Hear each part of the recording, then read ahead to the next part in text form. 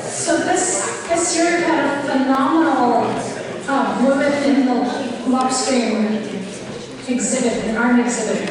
Um, and so it got us thinking about who are the women in the fisheries?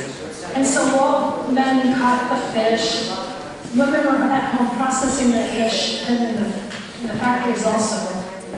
And our regulations and changes in taste have altered the fish processing in Maine for over the past century and a half. So today we have a panel of historians and a smokehouse owner who's going to tell us how women fueled the industry.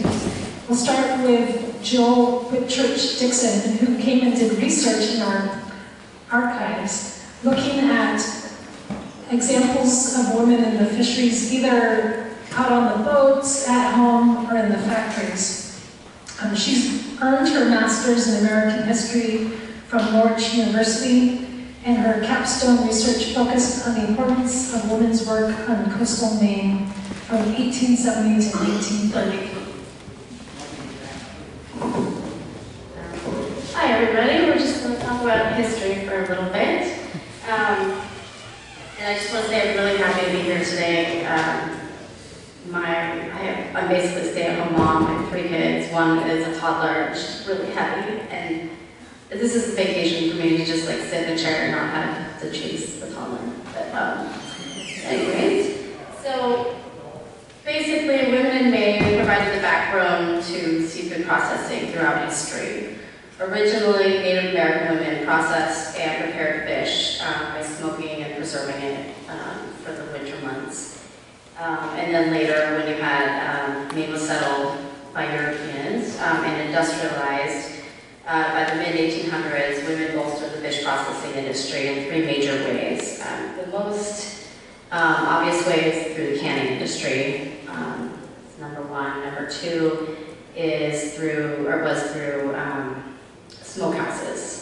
And third way was the cottage industry of crab picking. Um, there were lots and lots of ways that women supported the economy in coastal towns Maine. Um, but these are the main ways that they were directly tied to processing. So, um, the first canning, so here we have, just have the, um, a label for lobster. Um, canneries sprang up in Maine around the 1840s um, with the, the, can, the new technology, uh, being able to can, um, coincided with a new demand for lobsters in the big cities, uh, like New York and Boston. Lobster had to be shipped live, so to be able to can them was a really, really big deal, um, and it just took off. This, um, this is a cannery in Robbinston, Maine. Um, so men and women both worked in the factories. Men uh, did a lot of loading. They were called choppers, basically cut up the fish. Um, they did managing, management, like foremen, um, drivers, that kind of thing. Women were um, so they had small hands and they could work quickly. So they cleaned and they packed um, and they sealed the cans. Then, um, let's see. According to the annual report of labor and industry in 1900, there were 152 seafood canneries in Maine. Um, workers included 1,386 men, 911 women, and 265 children. Um, this may or may not have been accurate um, due to just the seasonal nature of work. The, in the 1870s, um, lobster numbers declined. New regulations caused lobster canneries to move to Canada um, by the late 1800s. Uh, George Brown Goode's Compendium on Fisheries from 1884 to 87 um, spoke about lobster canneries. Uh, he talked about picking meat off of lobster claws, um, washing meat, filling the cans. Um, it was all done by, in quotation marks, girls. Um, with astonishing rapidity. Um, he didn't know if the girls, uh, or he noted that the girls were paid less than the men, but he didn't state exactly what the pay was or the age of the girls. Um, and we know definitely in the sardine industry that the women were all different ages. uh, from very young girls, even like five years old, to um, older women. And let's see, next slides. So this is in the Robinson, Robinson. Um, these are cottages for the cannery workers put up by the cannery. Um, this is in, actually don't have a date for this. Um, in the um, Calais area, there were 20 odd canneries uh, for sardines in 1905. So there were hundreds of workers that were housed in these um, cottages or shanties. Um, but yeah, so the workers had to pay rent for these and then usually stayed seasonally. Um, this was in Eastport and it was more of a family unit um, in 1908. Um, and they stayed in this unit year round. Um, and I have a few different um, interviews for women that were taken uh, from different archives. The uh, Maine Folk Life um, Center with the University of Maine has a lot of uh, oral history interviews, as well as NOAA has a great um, spot on their website for it's called Voices of the Fisheries, and there's just people can upload any oral history projects that have anything to do with the fisheries. It's uh, pretty exciting. But um, so if I mention, anytime I mention an individual, it's they were taken from an oral history interview. So I have a, um, Layla Anderson was a cannery worker um, at the Stinson factory in the 1940s and 50s. Uh, she made 75 cents an hour, but she had to pack four cases. Uh, each case, and this was sardines, um, each case was 100 cans with four fish each. So this was considered good pay. You had to be really fast to be able to like, you had to be one of the good ones to be able to, to get the pay. Um, this is Stockton Springs, and you can just see what the lay, the breakdown is. You have the boys, I think it's 10 boys in the front, um, nine women and nine men that work there. And there was no date on this, but I'm guessing like right around turn of the century. And we also have Arlene Hartford, who worked in the Millbridge Cannery. Um, her mother, this is interesting, her mother worked at the cannery canning lobster before the regulations. So Arlene worked um, in the, the 30s and 40s, um, and her mother would have worked turn of the century, um, maybe one of the, last lobster canneries. Um, and she made, her mother made enough money to raise four kids comfortably as a single parent um, through the cannery work alone. Um, while Arlene talks about how she and her family had to work seasonal jobs, working for the blueberry industry, raking, canning, and cleaning blueberries, um, and also for the potato industry.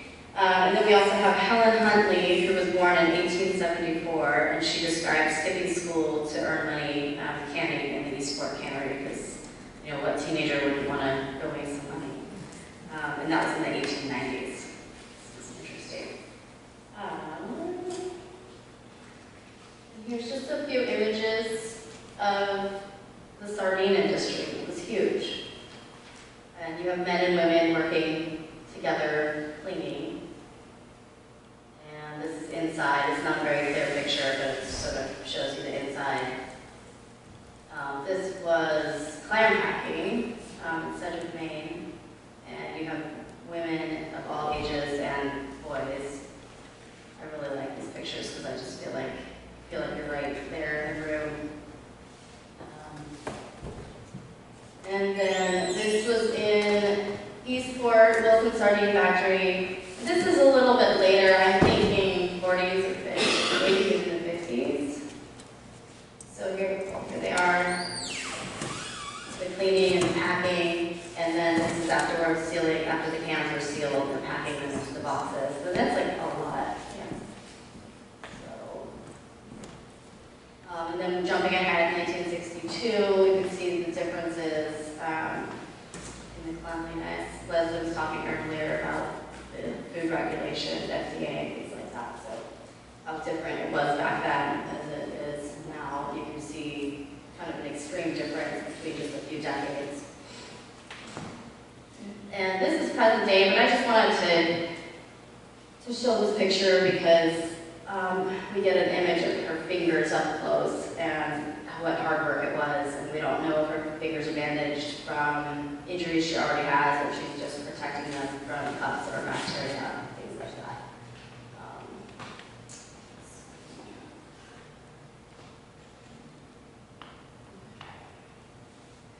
And a few more thoughts on sardines.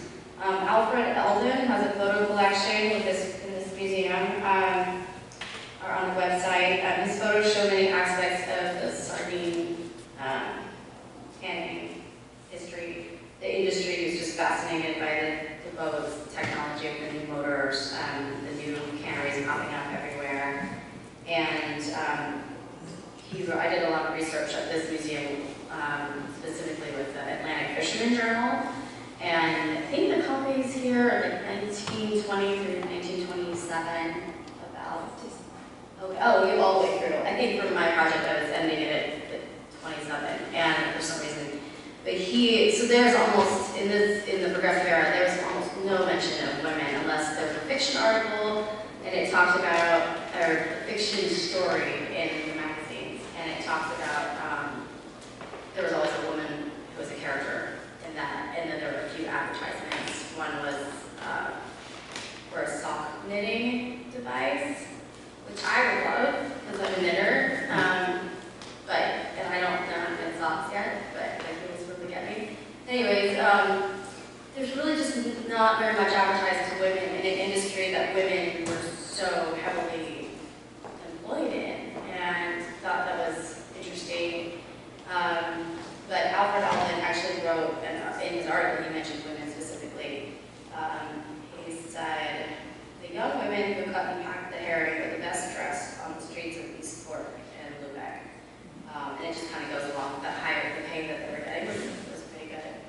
Um, okay, and so the next, one- next, number two, um, as far as, um, the fish processing industry was the smokehouses. So, um, Leslie was helping me figure out the picture earlier. I was thinking that they put the fire under the house, and I'm like, how does this work? But they, they, so we're thinking they take the firewood inside and hang the fish all throughout the building. Um, first, it has to be pickled in a saltwater brine, and then strung on sticks to dry. The sticks were called the lake, lakes. Um, and then it was smoked over a fire, and then afterwards it was gutted um, and skinned, and they were uh, boxed um, and shipped all around the world. So um, in Lubec, Lubec in the, 19, uh, the 1890s, Lubec had 20 smokehouses alone. Um, and then several women worked in both the canneries and the smokehouses. So um, in, there's an interview collection by Hugh French um, for the Maine Folk Center, um, and it covered life in Lubec and Eastport from 1890 to 1920. And um, so there's several women from, you know, this is a really valuable collection. So um, one woman was Alice Bain, born in 1884. She worked in an Eastport cannery and smokehouse. And another was Helen Ferris, who described working in a smoke factory, or in the sardine cannery and the smoke factory, cutting fish, sealing cans, um, is part of the smoking process. See. So this was from um, Hugh Brown Goode's um, compendium. I, I like this better almost than a photograph. It's just so vivid and clear, um, and it just shows the whole scene. You've got men and women. Um, you've got the, the foreman in the front, not really doing anything. And, um, when, you know, women are doing the cleaning, and then in the back, or all over, you're barrels. But this was at the cannery, so that the um, herring that were too big were, for the cans, were smoked. So this was all like the leftover larger herring that they were out there um, smoking. So, let's. um, And then we've got this um, last slide of the, this is just a group. I'm I'm guessing it's right outside of a small um, smokehouse or even a a cannery. And they're just putting it, they've pickled the fish in the bucket or the barrels and they're putting it on to dry. And this was in Monhegan, um, 1910. And just to quickly talk about crab picking. So crab picking was a home cottage industry. Um, I did my, um, started my project online uh, as we were moving. We moved a year ago from the Portland, Oregon area back to Maine. Um, it took me eight years to convince my husband to move back to Maine, but I did it. And um, we had, at the time, our baby was old and we were moving. And then I came upon all of these crab picking um, interviews that were done by uh, Blossom Kravitz, a historian. Um, actually, she might have been an anthropologist, but she um, and she did uh, a lot of these interviews with folks from Little Deer Isle in a nursing home, and um, many of them learned how to pick from their grandmothers. So this is just, you know, been happening forever. And I was so excited when I found out about it because I was like, I'm to to Maine and I'm going to pick crabs. It's perfect because you have a baby, you put the baby down for a nap, like you're steaming your crab, or you're, know, you, you cook them and then you can pick them. Like it was my, I don't know, it's not really realistic, um, especially if you live inland. But the um, the idea is it's a cottage industry and it works perfectly to go along with anybody, you know, with your your flexible schedules. You have women at home and they're farming or, you know, uh, doing seamstress work or just the basic work of raising children and family, um, you know, house stuff. So I think this is, this is just very interesting to me because it's so flexible. But um, few women, I'll just include, include a few of the interviews. One was Addie Mae Gove. Um, she used uh, the crabs that were pulled up in her house. She, uh, her husband was a lobsterman, and so he would pull up crabs and bring them home, and she would those, and she would end up just from those alone getting 15 to 20 pounds a day meat. And that's like a lot of meat, and it was great money. She would sell it to local buyers, or there's a New York company that she would sell to. Um, she preferred the sea crab to the rock crab, um, just for the, the taste. Um, and she also canned sardines um, and worked for fish smokehouses. Um, we have Alberta and Bill Dunham were a couple, husband and wife, um, and they both learned grandmothers. They would pick 13 pounds a day, and they made very good money. Um, they were born in the 1930s. And um, Veronica Dodge was born in, the, in 1930, and she bought crabs from uh, fishermen in Butts Harbor, and she actually hired other pickers. And um, she talked about um, her grandmother picked crab at the Stonington Fish Factory, um, and that's what that's who taught her. But she also talked about the seasonal nature of work in Maine. Um, her family dug clams, and they made reeds. Was just time to sell. Um, for a company. So um, those are the three major ways. Um, I have a few other things that women did. Um, you know, as economic earners and fishing families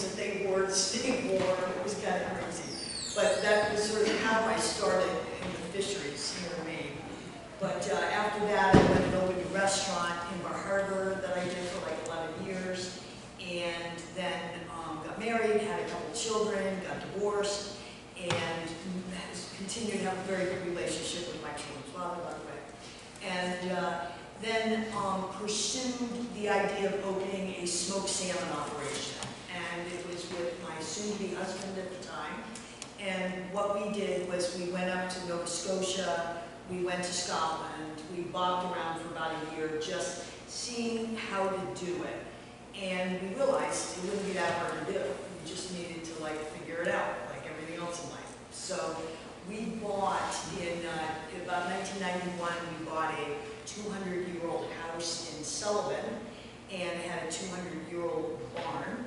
And in it, we decided that we were going to put a smokehouse. The cool thing was, there were no regulations. So, like, we opened a smokehouse, like, you know, it was no big deal. Um, We were extremely uh, focused on where we were gonna get our fish from. Uh, This was the early nineties, so it was before Chile had really gotten on board. Scotland was still just sort of uh, uh, experimenting with aquaculture. Maine was the new frontier. There was a lot going on with aquaculture. Salmon pens, pretty much from this part of the coast up, were everywhere, but it was not regulated. And um, what we did was we started doing business with a salmon operation off of Deer Isle, up by Glendon, the Bay of Fundy. Uh, We chose that area for our fish because we felt with the tides, this is like, these are the best tides in the world, strongest tides, turbulent waters, very athletic fish. But the farm that we dealt with, it was the, the family that were, the- was the first family in Brunswick to experiment with aquaculture, and they were working with the Norwegians. So we, you know, the Norwegians really the science behind um, farm-raised fish. So we developed a really good relationship with these guys, and for many years, um, bought our fish from them. And while we were buying fish from them, we were becoming a, a smokehouse of note. Um, we do what's called uh, hand curing. There is no brining involved. And when you hand cure a fish, you basically take the fillet and you rub salt, a little teeny bit of brown sugar on it. And then you cure it for anywhere from six and a half to nine hours. FDA rules are a minimum of seven and a half hours, but at the time, like I said, things were still a little like, you could kind of do what you want. And then what we would do is we would cure the fish and then we would do them in AFOS kilns, which are um, kind of old world kilns, stainless, but at one end of them, the kiln's about 12 feet long. There are three drawers uh, where we have smudge fires of hickory and applewood. And then there's a fan on the other end of the kiln, draws the air through, and basically is smoking, which is a flavor, it's not a preservative, it's a flavor, but it's also um, taking water out of the fish. So our signature trademark then and now, and I'll lead to our now story because it's kind of a little bit of a, became a battleground. But it's really about getting the right smoke, the right amount of salt, and having the right amount of oils remaining in the fish. Um, so we did that all through and we sold to Legal Seafood, to their prime supplier, uh, Ritz-Carlton's, Four Seasons, uh, Dan DeLuca, Martha Stewart, Cyril you name it. We were kind of in everybody's catalog, and we, you know, a lot of this was before the internet. So we were, we worked directly with these companies and had a really good run. And about 1998, so we did that for about six years. And my, my now former husband, he's, he's kind of a bully guy, and he doesn't like rules. So all of a sudden, one day, this truck pulls up in our driveway, and it says FDA. It didn't drive vans then, it was a truck. And I'm like, whoa, what is this? And this guy gets out, he's in uniform, that didn't help. At least with my former husband. And um, anyway, the guy's there, he hands us book that had, we just counted the other day, had 38 pages, and it was the fisheries guide.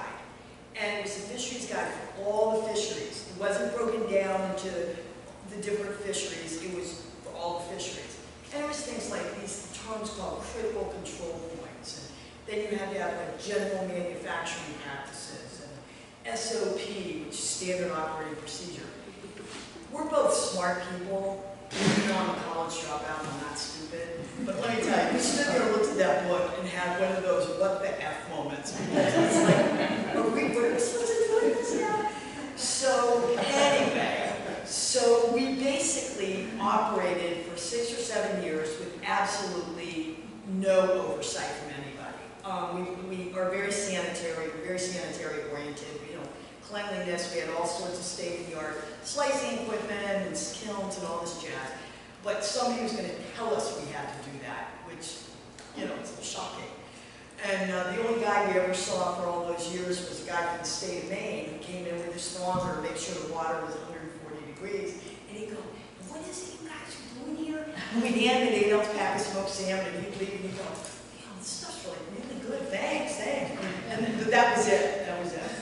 So the early 2000s came and it was clear, like, we had to really get it together with this HACCP thing. And at the time, you know, you go, you go to the University of Maine, which you certainly do, there was all of a sudden this new industry of consultants out there.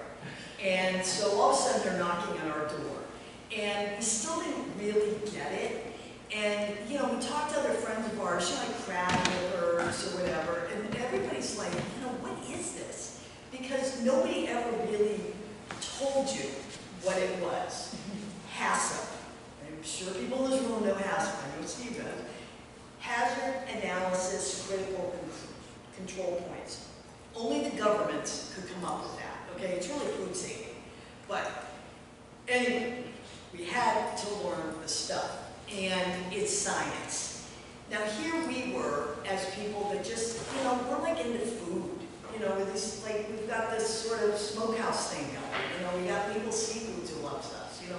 We just, we're like this little guy just wanting to make good food, and we were, had become very well known around the country. And uh, by now, we'd won some pretty prestigious awards in the, in the uh, uh, specialty food world. Cooks Illustrated gave us number one. Consumer Reports rated us number one for mail order. You know, it was like chugga, chugga, chugga going. So we decided, we, what we needed to do was build a new building. Because the only way we were really gonna be able to do HACCP was to have a facility that was gonna revolve around refrigeration, freezing, water, air temperature, everything that was now required in this new world order. So we did. We, it, we went, we went over to Hancock, two miles away, and we made a huge investment and built ourselves a custom building. The smokehouse is there today, and if you've ever been on Route One up that way, you're probably familiar with the property. And um, so we got going, and then I woke up and realized I was miserable in this relationship with this human being, and so I parted, we parted ways. And for the next 10 years, I went off, I live in Ellsworth now, and I opened a little cafe, and I've just always been in food, restaurants, stuff like that. So I had my whole thing going. Well, in the meantime, I'm kind of watching the smokehouse thing go on, and I had a somewhat acrimonious relationship with my former husband, but it started to improve because he was starting to feel really overloaded with this, these regulations, and it, it, it, he's older, and it was just getting to be too much. And finally, one day, in the fall of 2015, a very thick envelope arrived on his desk from the Department of Justice, and it was a consent decree, which, if anybody knows what those are, it's when the government sues you because you didn't follow rules. And what had happened was, for a number of years, the FDA would come and do their annual inspection, and they'd say, well, you need to do this, you need to do this, and he'd go, yeah, yeah, yeah, I'll get it done, I'll get it done. Well, they would come back the next year, and it was all minor stuff, but he didn't follow the rules. So basically, he did a voluntary um, shutdown of the business and turned to me, actually, he called me for lunch, and he said, let's go out to lunch, and I'm kind of like, really? Like, Why do I go out to lunch? Anyway, I met him for lunch, he ordered a martini, and I knew it was gonna be bad. I just knew. I'm not a drinker, and he isn't much of one. The martini arrived, he took this big fat FedEx envelope out, and put it on the table, and just said, I don't know what this is. And all I did was see the Department of Justice on it, and I was like, know, maybe this is not a good thing. So from that point on, um, we had a big legal problem. I, I no longer had any, uh, uh, financial interest in the business, but, but we agreed over a period of several months that I would take the business back over. And, you know, I had like seventeen years of, you know, I, I smoked fish, I cleaned fish, I packed fish, I picked fish up at the fish farm, you name it, I did it. So I kind of like, no problem. Well, that was a very, I was extremely delusional, and I admit it at this point. So it took three years of basically working with the FDA to rebuild the business so that we could open. And what we did was we, um, you know, I, I, I did a deep dive right at the very beginning, and so financially, and so I just went, okay, there is no turning back. But I had several times during the course of events where I was just like, I, I just can't do this anymore. Because when you get in trouble with the feds, there really, there really aren't too many places to find the light of day. And uh, I think maybe because I'm a woman, maybe because I'm a mother, maybe because I have a son who's in Iraq I don't know what it was, but I just kept plugging along. And um, so last fall, we got a letter from the FDA, and my lawyer did, and they said, hey, we're gonna come do the inspection now. You- You know, as soon as we inspect, um, as long as everything goes well, we'll be able to reopen. So we're all excited, I have staff, of employees that I've been paying and doing every imaginable thing to, to create revenue for the business over those years. And uh, the Fed showed up on December 15th. They were there for three days. The first hour, it was painful, but by day three, the, the inspector gave us a big hug and wished us a lot of luck and told us we're gonna be great, ready to go. And then the government shut down, remember that? And, and so for 69 days, um, the government shutdown was only like 42, but it was another 22 days for the, the FDA to kind of get their act together and review our paperwork. So finally, on Valentine's Day, my lawyer called me, she said, go to the bank, get a bank check, five thousand dollars, because I had to for the inspection. And, uh, you know, blah, blah, blah, send it, and you'll get a letter, and you'll be able to, to go back into production. So, um, I did it, and I even have a picture of myself at the bank, you know, like getting the bank check, and the, the, um, the woman, the cashier who knew me, said, uh, she said, is there anything that you want to say on the memo? And I had to stand there for a minute, and I won't say what I said, but, uh, you, I know, but we didn't put that on memo. But it was kind of like, I couldn't believe that we actually had this day. I had to be the only person in America that was happy giving a check to the federal government for five thousand dollars. So anyway, so, um, so what's happened since all that, we've been in production since really like full-heartedly, kind of the beginning of June.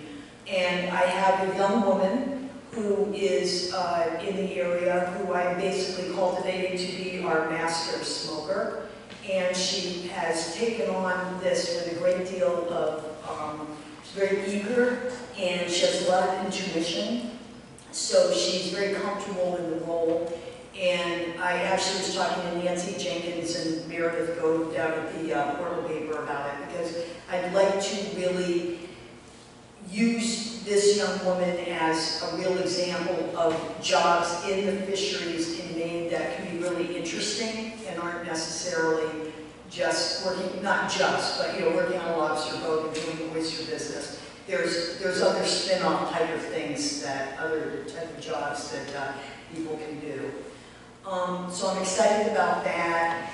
And also, what's very interesting for me, I, I own a restaurant as well. And so all summer, every evening, I'm the person at the front door, so when you come in, I greet you, I see you know, do the jibber jabber and the whole bit.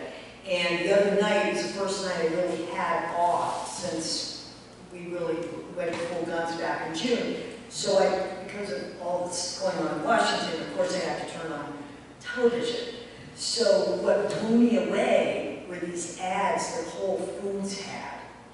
And the ads are basically supporting agriculture. And they're very good ads, and they're, they're clearly paving the way now for the theme that agriculture done responsibly is, is not a bad thing. We have, if we're eating fish, we, I think most of us in this room understand that we have to support clean, responsible agriculture. And um, I'm, I'm quite uh, proud, in fact, now that the source that we're using right now for our salmon has been certified by Seafood Watch, which is through the Monterey Aquarium in California, and they have a whole program to, um, for stewardship, for responsible and sustainable methods for raising fish, feeding fish, um, and processing the fish.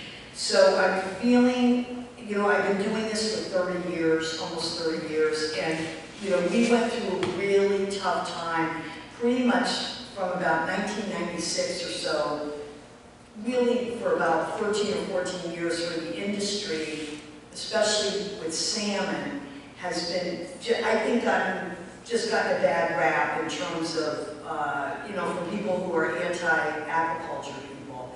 But I think the tides are turning, and a lot of these companies become very responsible, feeding techniques, what they're feeding it. There's a lot of different levels of fish that you can buy.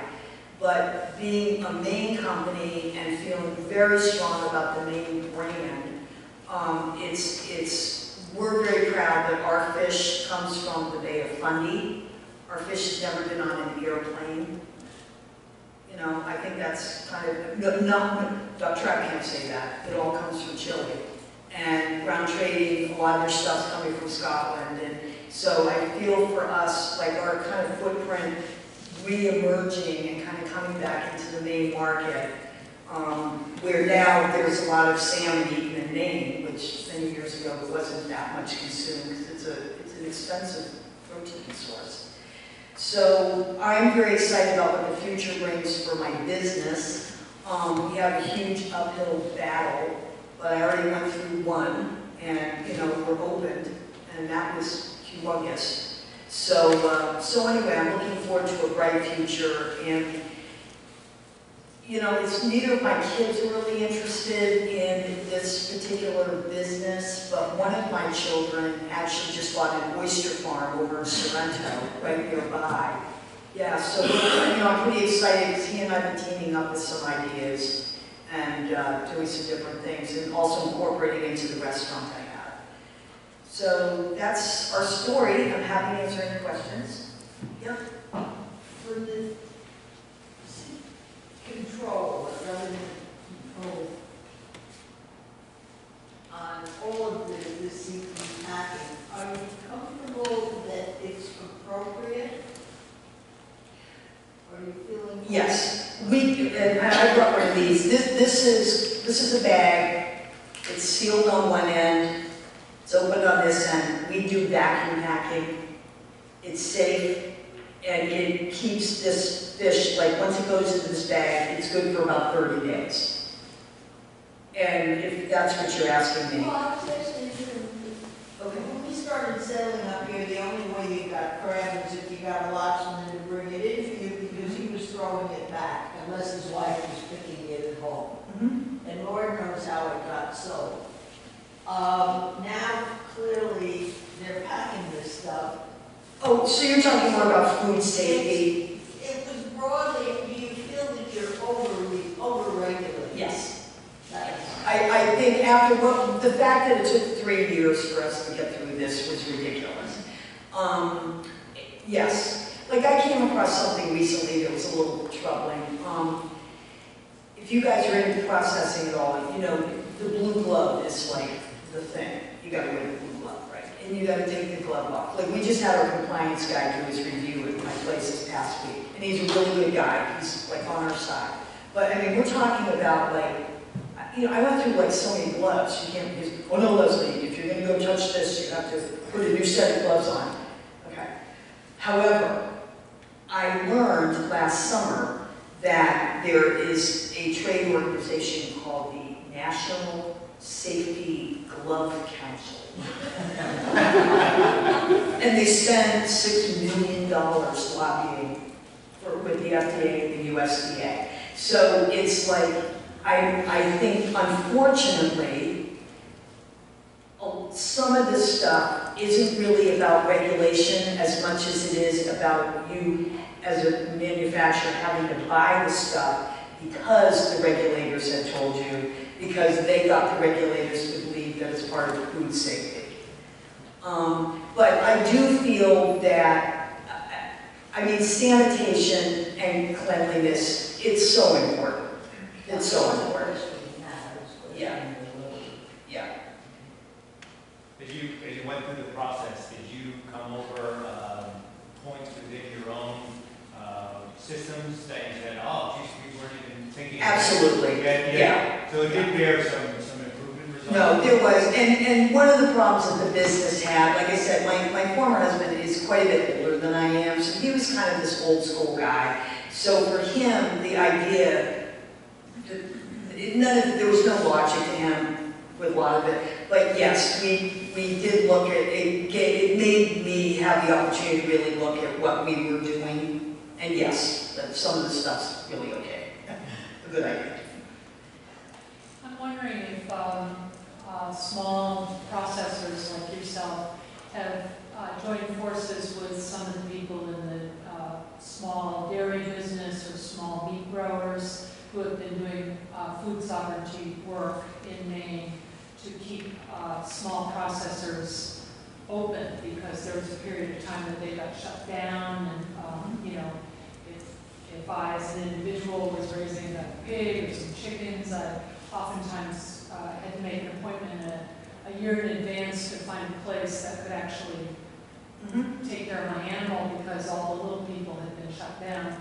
How- Is the, uh, are processors of seafood part of that movement of small producers Well, I, I can't really speak for other people. I know I've been so busy the last five months, just, I mean, like literally taking out the trash, right? Um, but I have a very strong view that what I think is very unfortunate is that if somebody is a young person, you need a lot of money to get going in this stuff. And I'm just old enough, like I'm 65, and I've done, I, you know, back in the day, I mean, my friends and I opened a restaurant, we had $10,000. That included buying the building in Bar Harbor, you know, back I mean, no, I mean, it's even like harder, even if you take inflation into account, everything, you just go, really? Like that really? But, um, but where I am very interested in getting involved is when I was at the Boston Seafood Show back in March, I went up to the uh, FDA booth, and, you know, I'm kind of like this, because I'm sort of a pariah, right? And so, um, of course, every, all these, because they're all New England guys, they all kind of knew who we were, but we're supportive of us trying to get reopened. But there was a guy in a suit there, so I went over to the guy in the suit, and it turned out that he is head of seafood for the FDA. So he, and what I spoke to him about was, I want to be on an advisory committee. And he really heard me, and he and I've had some communication, because my thing with him was, how can a little guy even think about this stuff? And, and putting sovereignty and all that aside, just, you know, you need half a million bucks. Like, if you want to open a smokehouse today, you need minimum of a half a million dollars.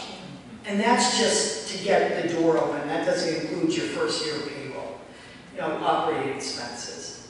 So, um, but I do have a really good relationship with a lot of smaller food manufacturers here in Maine. And I'm beginning to think we need to have some, something, I don't know what it is. And I don't want to be the one to have to invent it because I'm too busy. But there is a need. Because like the cheese, people want the cheese guild, the dairy people, everybody has their, their, their spots where as a trade they can get involved, but I do think there could be stuff. I'm hopeful of Jan Mills' office, I mean, she, they seem quite receptive and understanding what it means to be the little guy.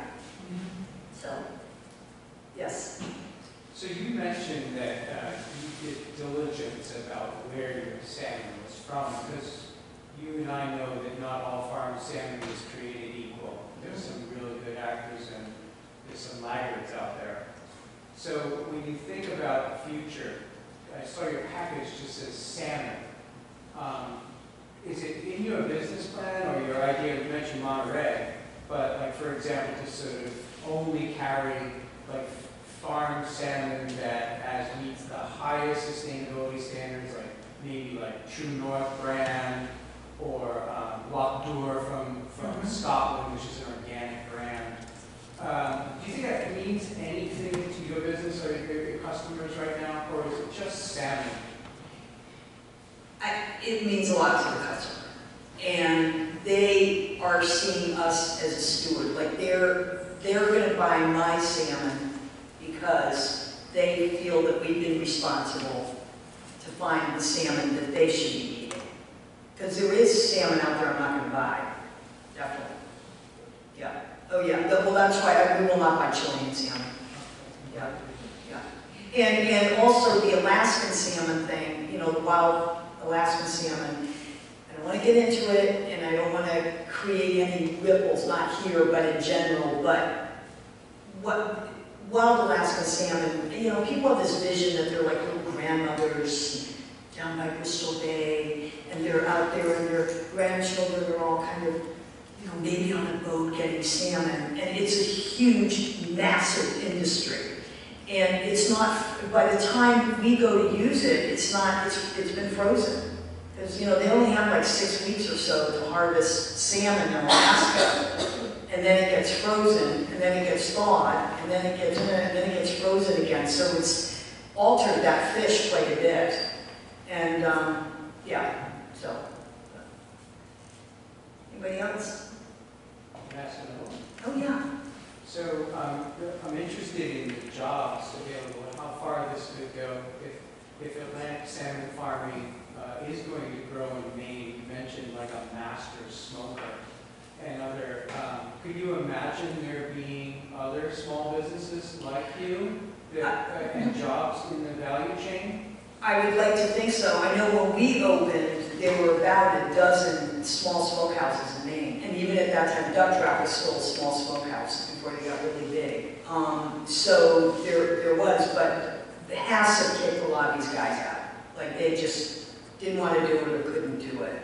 Um, but I think Maine has an opportunity within the culinary world of thinking about not just creating culinary programs, we're gonna create people for the restaurant and food industry, but for small food production, seafood being one of them.